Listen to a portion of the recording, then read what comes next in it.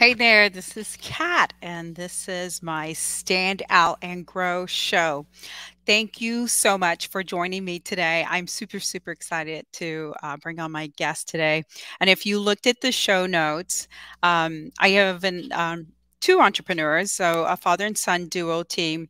And uh, I feel very fortunate because I feel like they're celebrities and I'm a little bit like in that celebrity fog. Because um, if you've seen them, they've been on a lot of um, big broadcasts, uh, a lot of media attention, and um, a really, really cool story. And so um, my special guests today are going to be John and Mark Cronin of John's Crazy Socks. And uh, if you guys have not heard about this, I'm so super, super excited that you guys will be learning more about John and, and Mark and the Crazy Socks today. So let me bring them on. Hey, um, hey, hey uh, John and Mark, how are you guys doing? Hey, Kat, how are you? Hi, Kat. Thank you so much. Thank you for having us on. We're very excited.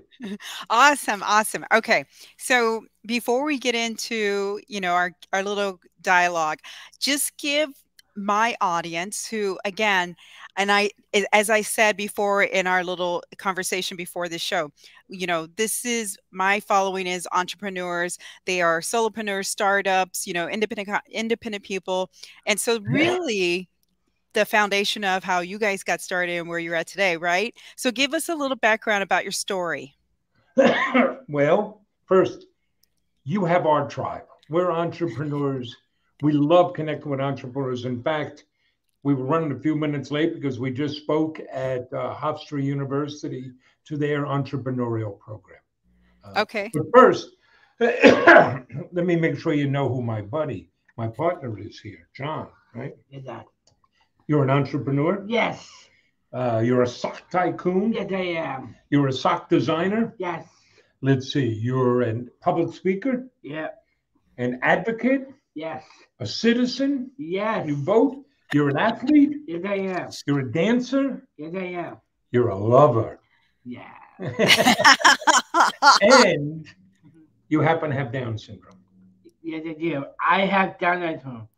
Down syndrome never hold me back. And and the Down syndrome doesn't define him either. Okay, awesome. But that's that's helpful background. So we'll tell you how we got started. Um, you know, which is good because origin stories, that's what gives us our DNA, mm-hmm. you know, mm-hmm. who we're going to be. So we've been in business just over five years. Uh, so we'll go back to the fall of 2016. And our story starts in a small log cabin in the woods. No. No. it starts on suburban Long Island in a town called Huntington. And where were you? I was at a Hunt, Huntington High School. I'm gonna be my I'm gonna be my last year of school. So John's trying to figure out what do I do when I graduate? And what were you looking at? I, I look at job program in school. I don't like I don't like. He didn't say anything he liked. And this is unfortunately a reality for too many people with differing abilities because there just aren't enough good choices available to them. Fewer than one in five people with a disability in the US are employed. But John here, you're a natural entrepreneur. Yes, I am. If you didn't see a job you wanted, what were you going to do? I want to create one. I want to make one. That's pretty cool. What'd you tell me? I said I want to go build with my dad. I had nice fellas that build together. So, Kat, I'm a very lucky man. Yes, I've you are. Three sons. He's the youngest, and this is one I can work with. So, um, so okay, we're going to go into business. We got to have an idea. You work with entrepreneurs. Yes.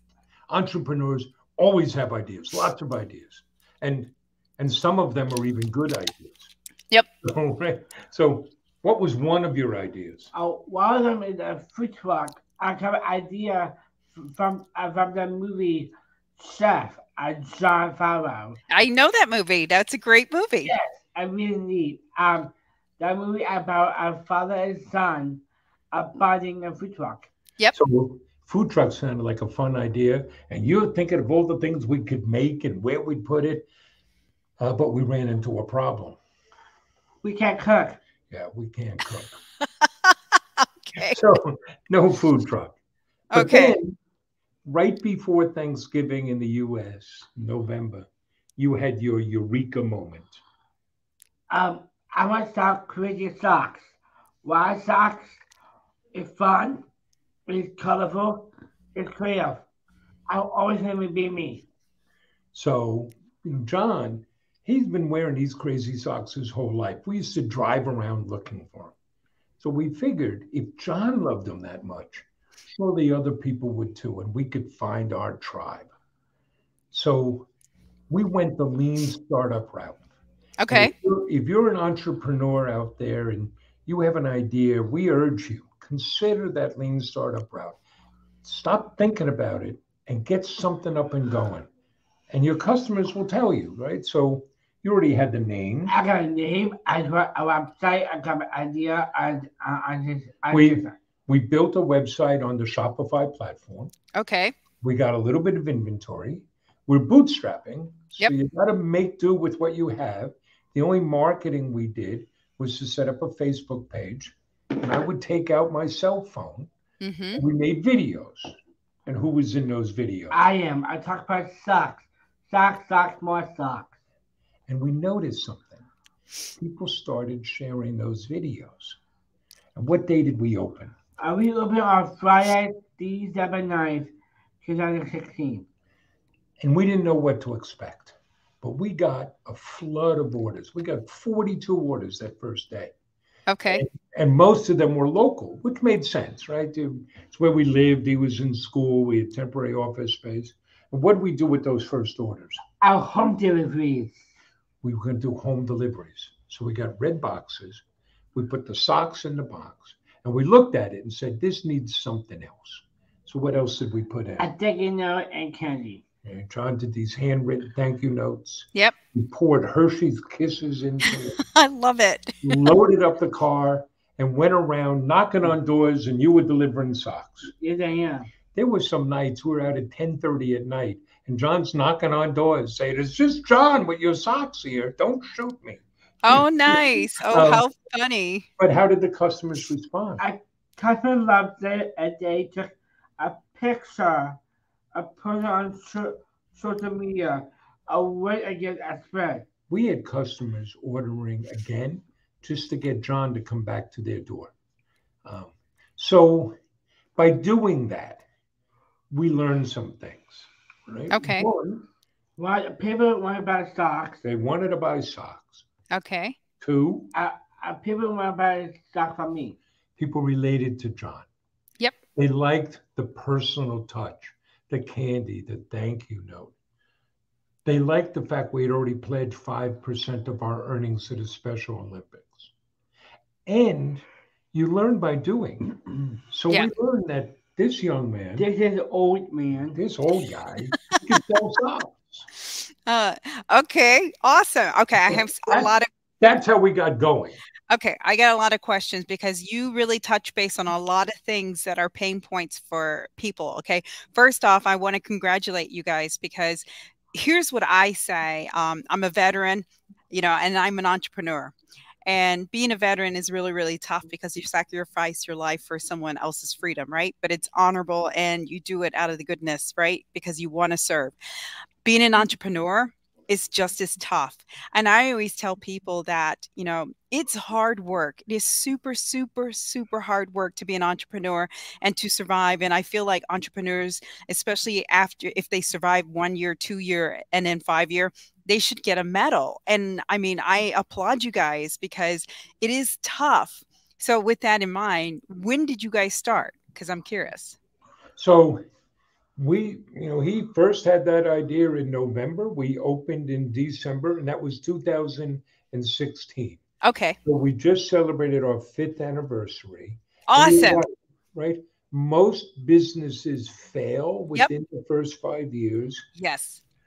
And I, I think when you're an entrepreneur, you have a greater appreciation for the challenges that other people um, find, you know, that other businesses face. Yep. Because you got to get started, you got to get traction, and you got to keep doing it. And times will change, tastes will change. You'll get something thrown at you like a pandemic. Yep. And you have to keep finding your way forward. Okay.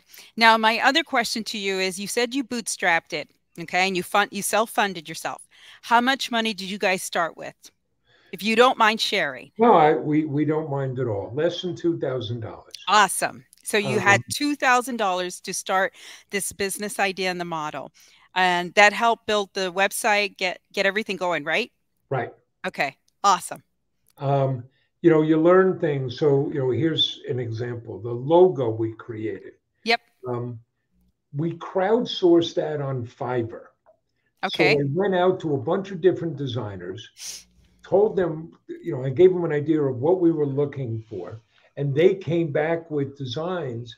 So now we had things to choose from. It was like we had our own design studio. Yep. Yep. Um, Yeah.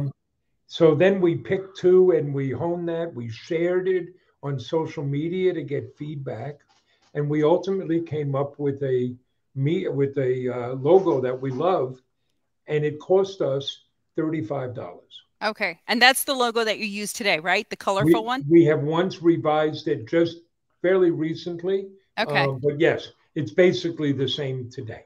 okay. wait, Awesome. Which see is it- right behind you too. You can right see it behind- behind us. That's exactly it. Yeah. Right. Okay. Um, but I'll give you, in in case people think it happens too smoothly, I'll give you two other things just from those first couple of days. Exactly. So we opened on Friday, December 9th, 2016. What time were we going to open? Are, are we going to open at 10 in the morning? Well, what happened? Oh, our website crashed. I just on my dad. The website crashed. because Our Oh. webmaster, who was me, screwed up the code. So we didn't open until the afternoon. Okay. Or I told you we got a little bit of inventory because we found ourselves in this catch 22. Suppliers would not sell to us because we didn't have customers or existing sales. But if you won't give us supplies, how are we ever going to get customers? So we didn't have a lot of inventory. Mm-hmm. Sales took off so quickly, we were running out of inventory. That Saturday evening, I drove to every Kmart in Suffolk County and bought all the socks I could just so we would have inventory. Wow. Um, and, and part of it is you get two groups of people. One group are going to tell you all the reasons why something won't work, Yep. all the reasons why it can't happen, or I got to wait. And then you get a second group, and they're the ones who say, okay, what do we do? How do we make this happen? Yep. And those are the entrepreneurs, Yep. right? They're the problem solvers. yes. Yes. yes. That's that's what I call entrepreneurs. Is they're solving problems. That's all they want to do is solve Right. problems. Right. I'll give you an example of my buddy here from his childhood. There was a time uh, my wife and I were out. You know, we weren't great parents. We abandoned the kids all the time. Yep. Home. Um, and you were making yourself like mac and cheese in a bucket in a in a cup or something, right? And the microwave was busted. So what do you do? Mm-hmm. What did you do? Um, I, I went to a, a I went I went to a, a, a neighbor's house. And I go, uh, uh, uh, uh, tell you the uh, microwave. He went to the neighbors, knocked on their door, and said, "Can I use your microwave?" right? He solved that problem. That's right. He sure did. I love that. That is awesome. And plus, he got to meet the neighbors if he didn't meet them before. right? And but we had that in our business. In January of 2017, we're finding out nobody buys anything in January because they spent all their money at the holidays. Yes.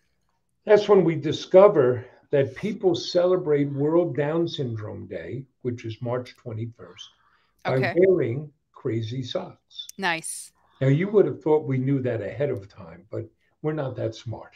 So, at that point, we're just selling other people's socks. So we mm-hmm. go looking for a Down syndrome themed sock. Okay. Nobody made one. We couldn't find one. What do you say? I said I want to make one. I want to create one. He designed one, and we found somebody to manufacture for it. That So is he awesome. was- he designed the world's first Down syndrome awareness sock. But that's that type of problem solving of okay, this is what we'll go and do. Yes, absolutely. Okay, so let me give out a few shout outs. We got a lot of people joining us here. Samuel, thank you so much for joining us. I appreciate you uh, tuning in. Miguel, uh, he says, "Hi, everybody. Have a have a blessed Friday." Uh, thank you for joining us. He also says the audio stream. Let me know, Miguel, if you can't hear because I want to make sure you guys hear. Ryan is a big fan. He says, Hey, Kat, I love my John's crazy socks. Oh, thank you, Ryan. We appreciate Thank you, Ryan. that. Yes, that is awesome. And then we have, let me see. Oh, so Samuel again plugs in and he's like, I think I need some socks now. Oh, you do, Samuel. Let's step up that sock game. uh, and I'll pop up your URL so everybody has it. Um, so again, if you're tuning in, please drop a comment. These guys want to hear from you. They um, are really promoting a great cause, and we're going to talk a little bit about that here in a second. Um, but drop your comments. They're here to answer your questions. And, eh, you know, we have two entrepreneurs who have made it past the five year mark. And to me, you guys are a legacy because you're very well known. And so let's talk about your giving back because you guys give back a lot. Well, it's part it's part of what we do. So we'll start with our mission, right? And everybody, you got to know your purpose. Right. You got to know what you're about. And what's our mission? Spread happiness. Spreading happiness. I love that. And that drives everything we do. It's not simply words you put on the wall. It's the criteria we use to make decisions. But the, the giving back is part of the business model we have. We've created a social enterprise. We have a social mission as well as a business purpose, and they feed off each other. The social mission helps differentiate us, but don't don't be mistaken. We're not a charity. We're a for-profit. We want to make money. It turns out we like to live indoors, Right. right? um, so I, am getting back to the, the giving back, but Yep. we the we built the business on five pillars. Uh, uh, it's been in hope, giving back, find pride you can love, make it personal. And the last is make it a great place to work, Love it. right? So I- I'll quickly walk through. If our mission is to spread happiness with our customers and our um, community, we have to start at home. Right. Our colleagues have to be happy and have to be engaged, right? Richard Branson is big on saying, take care of your employees and everything else will follow. So we, we start there. The making it personal, we're looking to create connections with our customers. We're looking to share the experience so that we're creating customer experiences with them. They become part of what we're doing. So, uh, you know, when a customer buys from us, they're going to get great socks. We'll talk about that.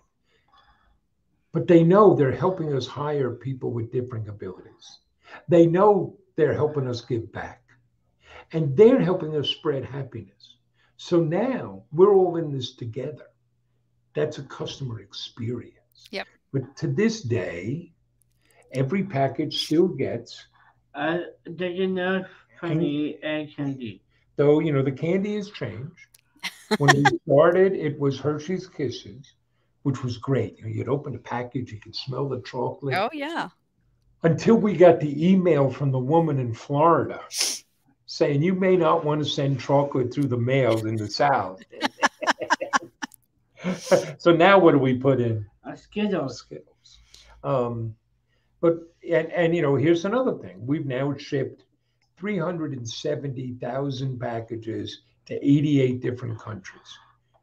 But if we get an order between our office and home, what are you doing? I do home delivery. We're still making that connection. Yeah. Um, anything you can do, or I mean, I'll give you one other anecdote because everybody has to be involved, right? We do our own fulfillment. Um, you know, if you have a, if you're going to sell online, you got to have a pick and pack warehouse. Either do it mm-hmm. yourself or outsource it. So we do our own. And one day, one of our happiness packers comes and says, "You know, we sell socks for diabetics, and we're sending them candy What's wrong with that picture? Right. So now we have a supply of sugar free candy. So if you order diet socks for diabetics, we ship you that. It's just pay attention to your customers. Mm-hmm. And then once you believe in it, it be, it runs through everything you do. So I know you advise people on advertising and marketing. So hopefully everybody with their email is segmenting so they can personalize that. Absolutely. We segment our fulfillment. We have five different base packages. So everybody gets the same stuff. Everybody gets a thank you note and candy. Yep. Um, but if it's your first pack, first order, you get one package. If it's your second order, you get a different package because we're creating experiences. So there are multiple packages. Yep. So That's once awesome. you once you believe, once you know this is what we're about, then you're always looking for ways to make that manifest. Absolutely. Okay, so you guys started out with $2,000 and you got this going, right? You got it going to where you are today, where it's a machine now and you're making money. Okay, so I, I want to really touch on this because of the fact that I meet a lot of startups, I meet a lot of entrepreneurs and solopreneurs, and they want instant gratification. And you made a comment of when you first started, you used Facebook. Do you feel like so? So give me some layout here, some lay of the land. Were you um, uh, consistently doing something every day? Where was it? Did, would you feel like the video was what helped propel this? You know, give me a little bit of a background on that. Okay. First, um, just a small step back. You have to know what you're about, and you have to know how you're connecting with people in your audience. One of the things that we do is we're trying to share information that people are going to want to see, as opposed to this is what we want you to see. Right. Right. We don't hit people over the head. Um, we, in the beginning, we really focused on two things Facebook, and it was all organic. Okay. Building a community in Facebook. Yep. And, and our email list. Okay. We know your folks know your email list, that's one of the most valuable assets you have. And it was a different day and age with Facebook. It was still at a time where if we got a like, if you followed us, you saw all of our posts. Yep. That Yep. doesn't exist anymore. There's a lot of noise. right. But we were able to have things grow. And it's, we're able to, here's how we articulate the overall strategy. For us, it's drive the mission. That drives the brand yep. and that drives sales. But it's got to start with the mission of you know the giving back. Yep. It's showing what people with different abilities can do. Um, Awesome. it's you know, and that so we started with Facebook and with email. Yep. Um, as we grew, we added people. okay. So we have somebody who works with us now. Yeah. Who manages our our social media. Um, because, and I think you're referring to this, social media is a beast. It's an insatiable beast. You have to be able to post on a regular schedule. You get to pick that schedule. But once you do it, you can't be missing. You can't be messing around. Yep. And um, at least our experience, my experience in this business and having done others, I think you have to do that in house. Because I think you have to have the voice to do the organic. hmm You have to be present. Yep. Um, and one of the things we do is we take our processes and turn that into content. Okay. Um, so everything we do, we're going to turn into content, and then we'll share that on multiple platforms. Right. Right. so, right. uh, you know, here's an idea, you know, an example. Uh, we do a lot of speaking engagements. So, this past weekend, well, I won't tell that one. I'll tell last week. We spoke at a high school. Okay. All right. So what we do about that? Well, one, we got them to share and promote that. Yep. We took pictures. We one of our colleagues took pictures and took Mhm. some video. We wrote a blog article about that. Nice. Okay. So we put the blog article up. Yep. That then becomes the basis for a series of social media posts. Yeah. And you can buy tools that will tell you, oh, put something up once and we'll put it on every platform. hmm That doesn't really, from our experience, that doesn't work because a Facebook post is different from an Instagram post. Yes, that is is correct. Different than a tweet, is different than what you're doing on TikTok. Yeah. So we have this experience, we get those photos, we turn it into a blog article, we then turn it into a series of social media posts. We take the blog article, and one thing we make a lot of use of is the patch. Are Yep. you familiar with the patch? Because anybody can put anything up. Yep. That gets shared and that gets backlinks. Um, so you you take that one thing and you multiply it out.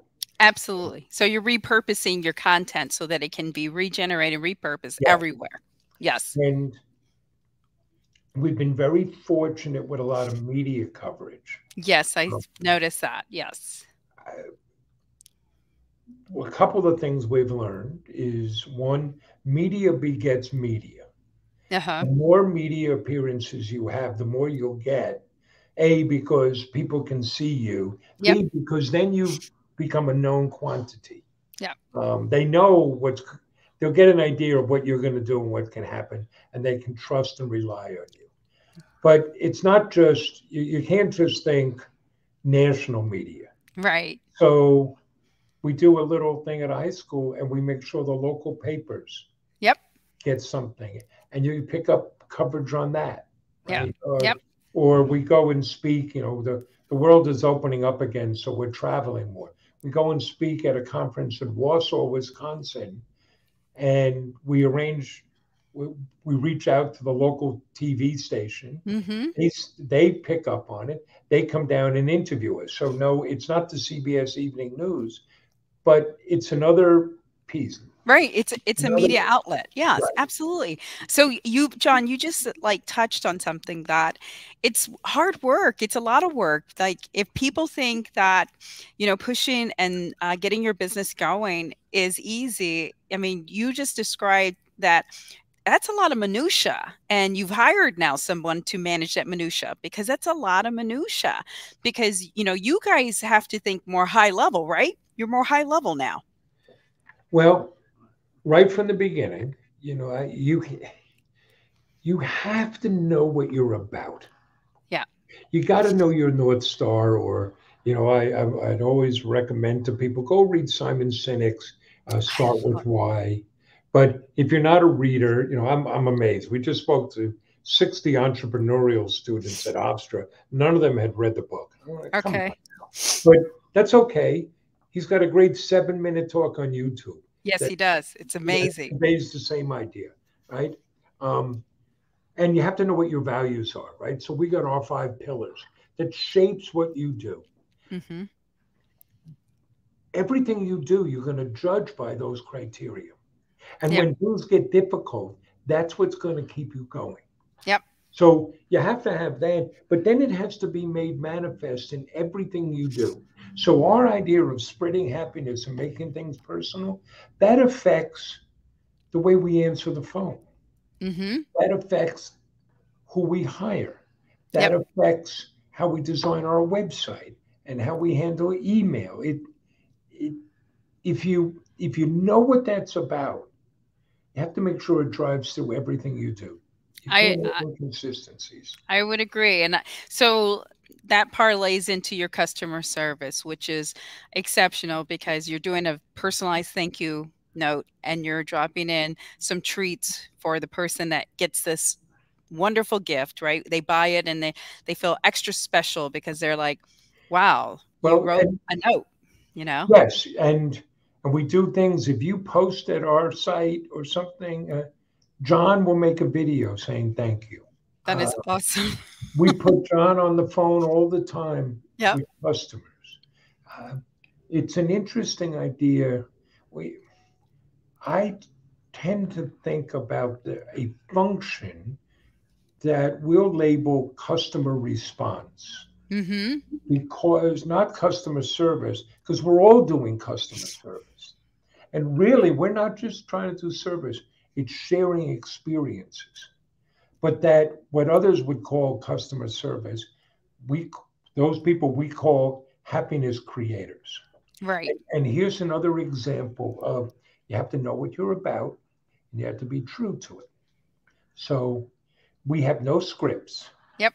And we don't time people because we want those to be human conversations. Yeah. Know, Yeah. How are you doing? Right. What can we do to take care of you? Awesome. What can we do for you? And That- everybody knows they can spend $200 on any customer at any time without asking. Give a refund, send extra socks. What can we do Yep. to make you happy? Okay. And- but, but here's the payoff for that. That's right. That's Our right. refund rate is less than 0.5 of 1% of our revenue. Wow. That's We incredible. happy customers. That's incredible. And then they go and tell somebody else. Oh, absolutely.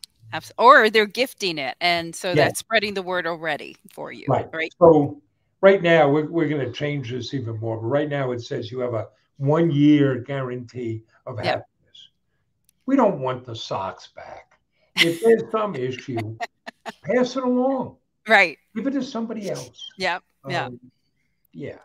Awesome. That's awesome. Okay. So, as we kind of bring this full circle and wrap this up a bit, what was the biggest challenge you guys had during the pandemic? Well, our biggest challenge actually came right before the pandemic. Um, so we bootstrapped. Mm-hmm. And I'll tell you, getting started was the easy part. Growth was difficult. Right. And we, in fact, were undercapitalized. Okay. I'm glad you're saying this because I Yeah, know no, let me- entrepreneurs that run into this all the time. Let me share it with you. We were undercapitalized. We had two banner years. We entered the third year, and now I go looking for capital. Um, we had Uh, we had an investment banker working with us, and banks coming in, but they weren't going to lend to us because we, in their eyes, were still a startup. Yep. And we kissed a lot of toads. We had people coming in and they were interested in investing, but basically what they were going to do, what they want to do was buy the brand and shut us down. Gotcha. And I just kept fighting for another day. Mm-hmm. And it got very ugly. So by the end of 2019, we were letting everybody go. I was in debt. We were looking into declaring bankruptcy. Um, I remember having a conversation with a bankruptcy attorney who was advising me, oh, you definitely have to do this and this and that. And all you have to do is give me $50,000 up front. I'm like, well, wait a second. If I had $50,000 to give you, I wouldn't be looking at bankruptcy. Right. But here's the good news. We just kept looking and fighting to stay alive. You fight for another day. And we found the perfect strategic partner, a third generation family business. They've been in business over 60 years and they manufacture socks for department stores and brand names. And we came together um, within in less than two months. Mm-hmm. We struck a deal That's awesome. and we signed that deal just as the pandemic hit. Okay. Okay. That Um, is awesome. But you know that so our biggest challenge was the lack of capitalization. So you know, our second year we had a banner year. Right. It's revenue way up. And the end of the year, I got no money. Right. I'm talking to my accountant. I said, "What the hell's going on?" He says, "Mark, let's go look in your warehouse. You got a million dollars of inventory. Right. That's your money." Um, okay. Uh, I mean, there there are other lessons you learn. Yep. Uh, you know, and then the pandemic. The pandemic was bad for us. uh, it, particularly that first spring. We depend in the spring. Uh, we're very seasonal. In the Mhm. spring, a lot on public events and gatherings. All that got wiped out. We had six television appearances lined up. All that got wiped out. It cost us hundreds of thousands of dollars. But you take care of people's safety. You adapt. So we moved our tours online, our speaking engagements online. What does that do? It opens up the world. Oh, yes. In the past year, we've spoken at three conferences in India. That We've is awesome. Classes from around the world come for tours. And then you look for opportunities. So we start selling masks. We created a charity fundraising program that was remote and touchless because because so many nonprofits were now unable to have their in-person events. Yep. Um, we wanted to say thank you to the frontline workers. So we created healthcare superhero socks that raised over fifty thousand dollars for for frontline workers. Yep. Um, because when you know your purpose, Yep. when you have a social enterprise, you have resiliency. Yes, yeah. Awesome. Okay, guys. So, um, I guess what do you want to share with anybody who is uh, tuning in or they will hear the rebroadcast? What do you want to share with them? Anything that you want to offer my audience? Well, let's see. Uh, oh, I'm going to go blank on it. I think we created a discount code for you. You did create one. You want me to tell you what it is? Yes, yes. It, it is stand out, the word together, stand out, and the number 10. Right. Stand out 10, you get 10% off anything you order. But, you know, I'll offer something than you do, right? Uh-huh. One, you know, please come and, you know, we're a business. Support us at johnscrazysocks.com. It's the world's largest sock store. If you order from us, you're going to get great socks. We have, you know, over 4,000 different socks. We have 29,000 five star reviews, but more than that.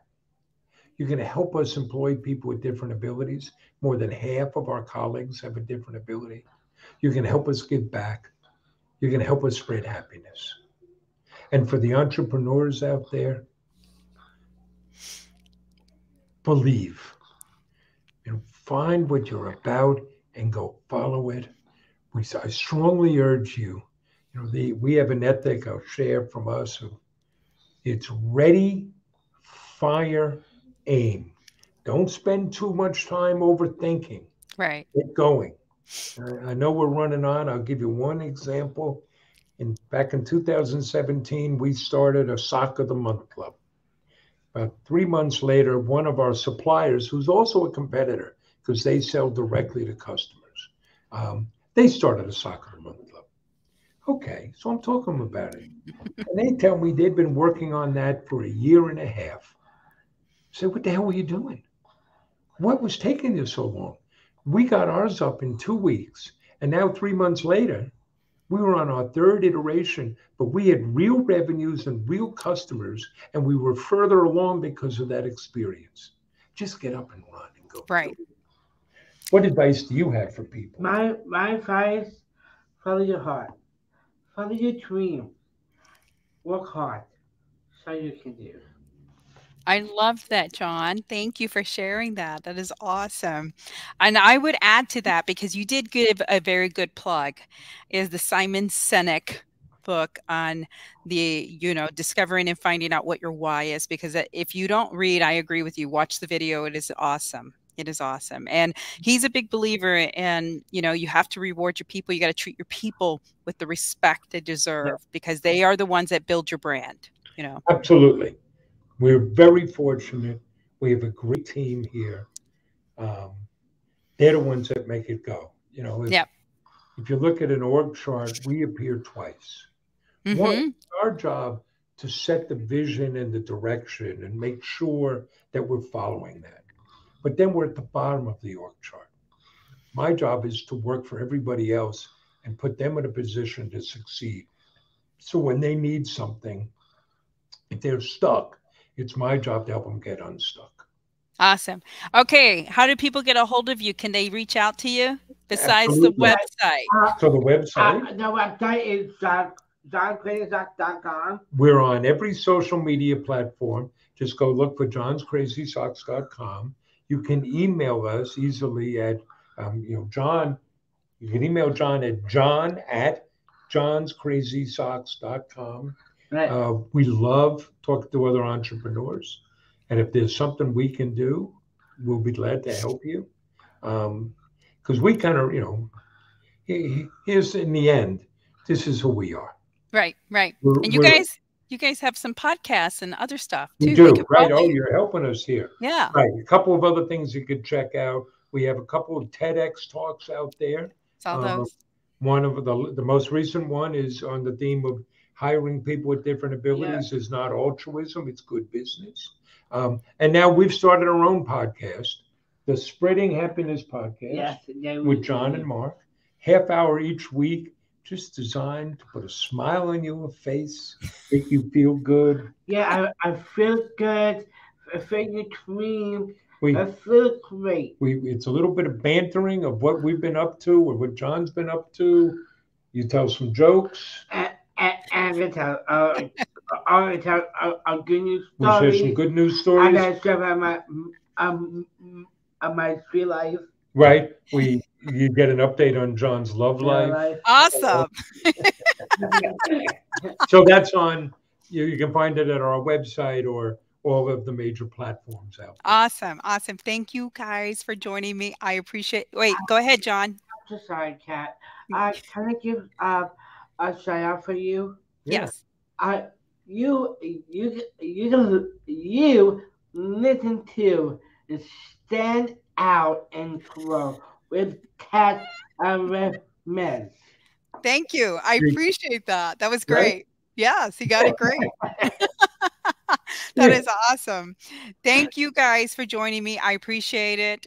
And um, thank you so much for offering the discount code. Uh, I will make sure that I put that in the show notes for everyone and make sure everybody gets to that website. And um, thank you again for joining me and taking the time out to speak about your entrepreneurship and your role and the challenges that you had that, you know, I feel like will really connect with my audience.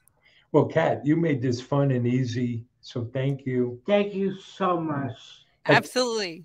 Look, we're so fortunate. You know, at the end of the day, we're a couple of knuckleheads selling socks, Right? Uh, uh, and, and all we want to do it changed the world. change the world. I love it. Thank you guys. Bye. Bye. Thank you so much for joining me today. I appreciate it. Again, if you have any comments, any questions for John and Mark, please drop them in the comments below because I will tag them on all the social posts and I'm sure that they will respond to you guys. And I appreciate you for tuning in and joining me today. What a great story of John's crazy socks and his entrepreneurship and how they got where they are today. Um, until next time, you guys, you got this.